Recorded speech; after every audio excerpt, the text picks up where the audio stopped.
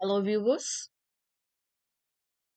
In this lecture I am going to answer a question that was posed by a researcher on ResearchGate.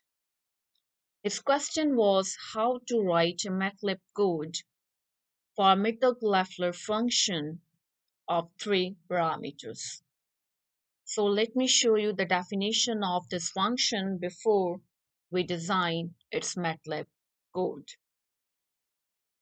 So as you can see on the slide, the first equation is the definition for the three-parameter Mittag-Leffler function, also known as Prabhakar function. The three parameters in this function are alpha, beta, and gamma.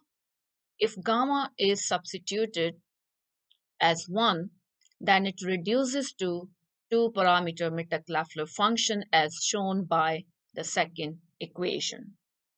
Likewise, if you put beta to be 1, then the function reduces to one parameter Mittag-Leffler function as you can see by the third equation on the slide.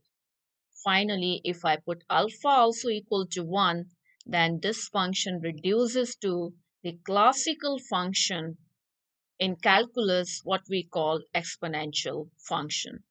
So that is why the Mittag-Leffler function is the generalization of the exponential function.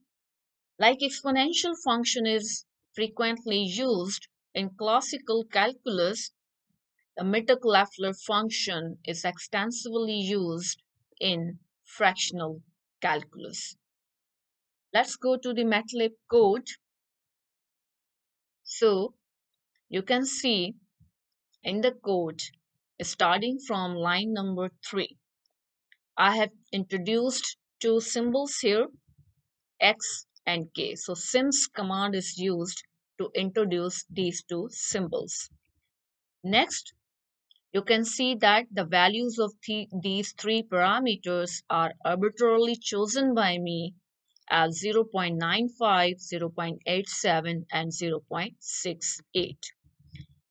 Later on, you can see that lines 12 and 13 is what is the definition for the three parameter Mittag-Leffler function that you just saw on the slide. So I have used here an expression, the symbolic notation, a command called sim sum available in MATLAB and then rest of the letters are same as you had seen on the slide. So look at this, the K which was the index in the definition of the three parameter Mittag-Leffler function starts from 0 and goes to infinity. The rest of the symbols are also same as in the definition. After that, on line number 5, I have chosen 11 points between 0 and 1. These are the points at which I would like to see the value of the Mittag-Leffler function with these three parameters. So I will have 11 values as you can see the number assigned by me. After that, I have created a vector shown by capital X and linspace command is used for linearly spaced data. From A to B, I will have 11 values.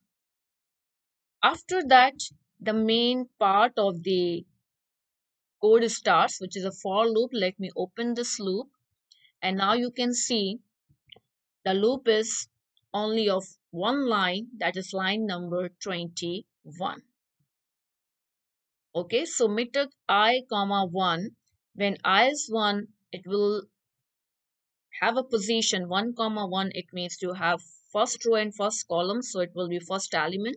When i is 2 2 comma 1 it means that the second row first column it means you will have the second element at that position and so on and so forth. And here you can see that the Mittag series that was the name of this expression and then you can see that small x this was the old uh, variable used in the expression. Now it will be replaced by these new numbers x of i. So when i is 1 x of 1 will be the first value from this vector Likewise, as the loop goes on, it will be taking more and more values until p is equal to 11. And then it will start putting these numbers into this expression for which I have used the command subs.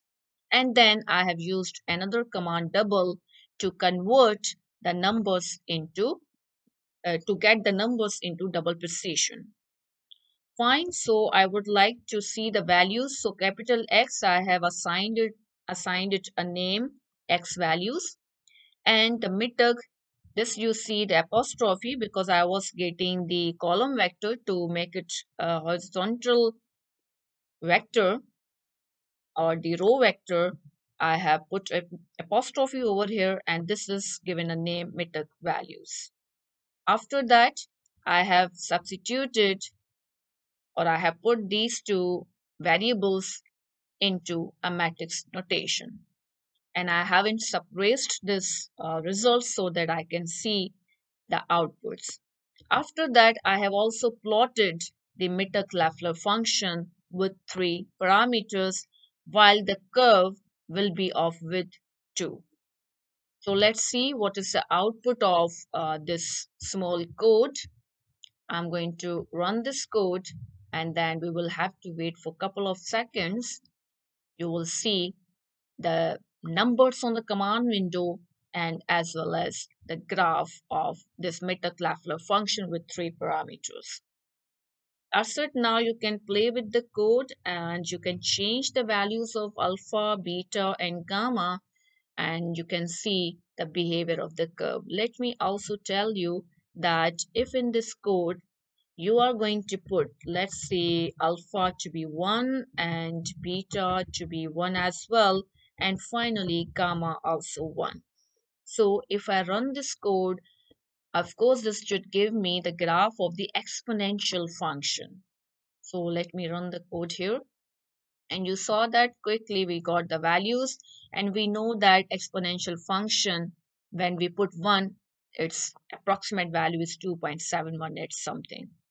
So this is how we can design a MATLAB code for three parameter Mittag-Leffler function.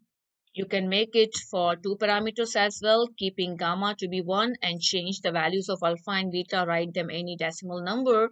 You can also make it a definition for the one parameter by putting beta 1, gamma 1 and changing alpha to be any uh, fractional number. So the code works for all of these three types of Mittag-Leffler function. I hope you understood it and you have enjoyed the lecture. Finally, I would request you to like, share and subscribe my channel. Thank you so much for watching the lecture.